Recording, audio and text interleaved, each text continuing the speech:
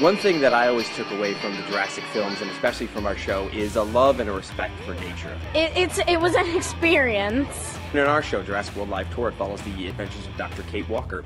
We're hoping to get them excited to follow in those footsteps, maybe grow the next crop of scientists. You've got to study real hard in school and pursue a career in the STEM field science, technology, engineering, mathematics. Today's a uh, geology lesson that we have for the kids because, as we all know, uh, Isla Nublar, the island where Jurassic World, the theme park, takes place uh, in the movies, it's volcanically active. Everybody say lava. say magma.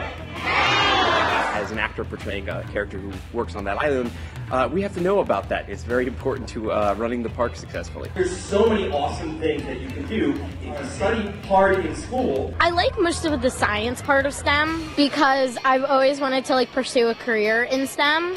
The heroes in those movies, generally speaking, they're scientists, they're veterinarians, they're paleontologists. But I want to stress it's not a museum exhibit. It's everything you love about the Jurassic films, but now there's no screen between you and the action. Well, we got to see a, a Stegosaurus. Really, really cool. Now it's live, it's real, it's in your face.